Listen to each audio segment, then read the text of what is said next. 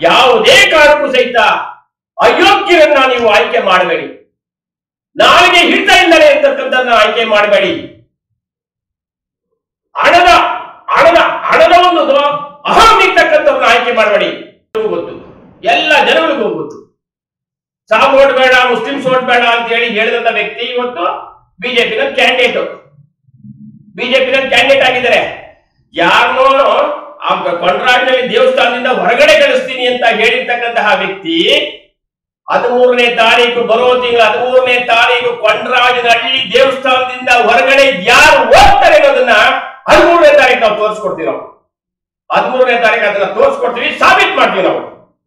ಯಾವುದೇ ಕಾರಣಕ್ಕೂ ನಾಡಿನ ಮೇಲೆ ಹಿಡ್ತಾ ಇದ್ದಲೆ ಜ್ಞಾನ ಇಲ್ಲದೆ ಅಸೆಂಬ್ಲಿನಲ್ಲಿ ಹೋರಾಟ ಮಾಡೋ ಶಕ್ತಿ ಇಲ್ಲದೆ ಅಧಿಕಾರಿ ವರ್ಗಗಳ ಹತ್ರ ಗೌರವಾನ್ವಿತವಾಗಿ ನಡ್ಕೊಳಕ್ ಬರ್ದಲೆ, ಕಾರ್ಯಕರ್ತರ ಗೌರವಾನ್ವಿತವಾಗಿ ನಡ್ಕೊಳಕ್ ಬರ್ತಾರೆ ಒಂದು ರೀತಿ ವ್ಯಾಘ್ರವಾಗಿ ಮನುಷ್ಯ ಗುಣಗಳೇ ಇದ್ದಲೆ ನಡ್ಕೊಳ್ಳುವಂತಹ ವ್ಯಕ್ತಿಯನ್ನ ಬಿಜೆಪಿನಲ್ಲಿ ಈ ಜನ ಈ ಕ್ಷೇತ್ರದಲ್ಲಿ ನೀವು ಆಯ್ಕೆ ಮಾಡ್ಕೋತೀರಾ?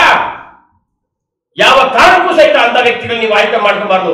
ಇವರಿಬ್ಬರನ್ನ ಹೋಲಿಸಿದಾಗ ಸಿಎಂ ಆರ್ ಶ್ರೀನಾಥ್ ಮೊದಲನೇ ಸ್ಥಾನದಲ್ಲಿ ನಿಲ್ತಾರೆ.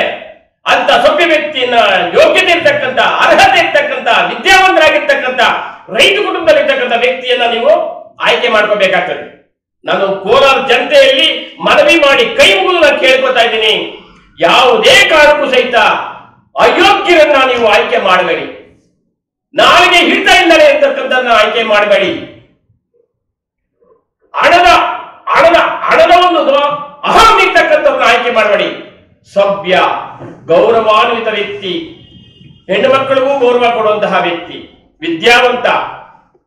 ತನ್ನ ಕಾಯಕದಲ್ಲಿ ರಾಜಕಾರಣ ಮಾಡ್ತಾ ಇರ್ತಕ್ಕಂಥವ್ರು, ತನ್ನ ಹಣದಲ್ಲಿ ರಾಜಕಾರಣ ಮಾಡ್ತಾ ಇರ್ತಕ್ಕಂಥ ಸಿ ಎಂ ಆರ್ ಶ್ರೀನಾಥ್ ಅವ್ರಿಗೆ ನೀವು ಆಶೀರ್ವಾದ ಮಾಡಿ ಗೆಲ್ಲಿಸ್ಕೊಡ್ಬೇಕು ಅಂತೇಳಿ ನಾನು ಇಡೀ ಸಮಸ್ತ ಕೋಲಾರ ಎಂ ಎಲ್ ಎ ಕ್ಷೇತ್ರದ ಜನತೆಯಲ್ಲಿ ನಾನು ಅವರಿಗೆ ನಮಸ್ಕಾರ ಮಾಡಿ ನಾನು ಕೇಳ್ತಾ ಇದ್ದೇನೆ.